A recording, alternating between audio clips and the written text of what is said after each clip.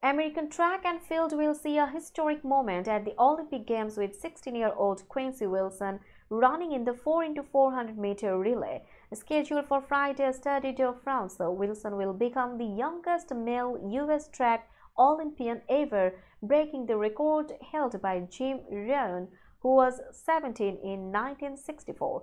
While there is no guarantee Wilson will compete in Saturday's final due to potential lineup changes, his presence is remarkable given the event's demands. Despite the Olympics featuring younger athletes such as an 11-year-old Chinese skateboarder and a 14-year-old Australian gold medalist, Wilson's achievement stands out. Wilson, from Bullis School in Potomac, Maryland, has shown impressive performances in recent months. He dominated high school competitions and stunned spectators at the U.S. track and field trials in Eugene, Oregon, running a sub 45 second 400 meters in three rounds and finishing sixth. At a Florida meet in July, he set an under 18 world record with a time of 44.20 seconds, which ranks 11th globally this season.